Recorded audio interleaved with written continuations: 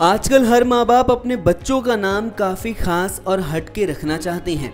ये होड़ ज़्यादातर सेलिब्रिटीज में देखने को मिलती है, चाहे फिर वो बॉलीवुड हो या फिर खेल जगत से।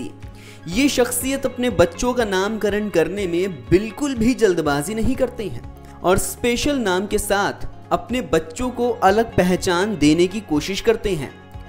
अब ऐसा ही कुछ पूर्व भारतीय बल्लेबाज गौतम गंभीर ने भी किया है, जिन्होंने अपनी बड़ी बेटी का नाम इतने सालों के बाद जाकर रखा है। लेकिन गौतम गंभीर ने जितना समय नामकरण करने में किया है, अब इसकी चर्चा उतनी ही जोरों शोरों से हो रही है। गौतम गंभीर की बेटी का नाम इतना ज़्यादा अलग है कि अगर कोई इसे एक बार सुनेगा तो फिर वो कभी नहीं भूलेगा। अब आप यहाँ ये सोच रहे होंगे कि आखिर गौतम गंभीर ने अपनी बेटी का नाम ऐसा क्या रखा है? जो हर कोई चर्चा कर रहा है। तो हम आपको बता दें कि गौतम गंभीर ने अपनी बड़ी बेटी का नाम अजीन रखा है, जो कि एक अरबी नाम है, और इसका मतलब होता है सुंदर।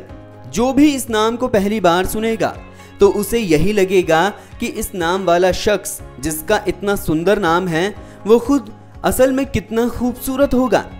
ये ऐसा पहली बार नहीं हो रहा है जब भारतीय स्टार क्रिकेटर्स ने अपने बच्चों का नाम हटके ना रखा हो। हाल ही में पिता बने युवराज सिंह ने भी अपने लड़के का नाम काफ़ी अलग रखा है, जहाँ उन्होंने अपने लड़के को अंग्रेज़ी नाम ऑरियन दिया है। वहीं पूर्व भारतीय कप्तान विराट कोहली और बॉलीवुड अदाकारा अनुष्का शर्मा ने अपनी बेटी का नाम ट्रेडिशनल रखा, जहाँ दोनों ने अपनी बेटी को वमी का नाम दिया, जो दुर्गा माँ के ही अंश का नाम है। वहीं अगर पूर्व भारतीय कप्तान महेंद्र सिंह धोनी की बात करें तो उनकी बेटी का नाम भी काफ़ी हटके है। एम एस धोनी ने अपनी बेटी का नाम जीवा रखा, जिसकी काफ़ी चर्चा भी की गई थी। जीवा नाम भी काफ़ी हटके हैं और इतनी आसानी से सुनने को भी नहीं मिलता है।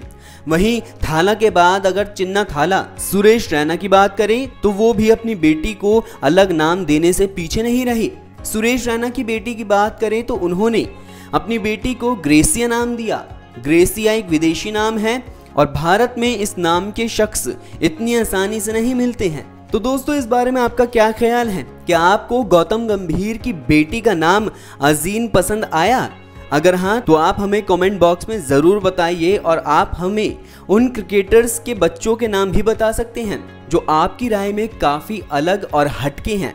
अगर आप ऐसे ही किसी क्रिकेटर्स का नाम जानते हैं तो कमेंट बॉक्स में ज़रूर लिखिए और हमारे चैनल वन इंडिया को देखते रहिए और इस वीडियो को लाइक ज़रूर करें और अपने दोस्तों के साथ शेयर करें। तब तक के लिए देखते रहिए वन इंडिया को।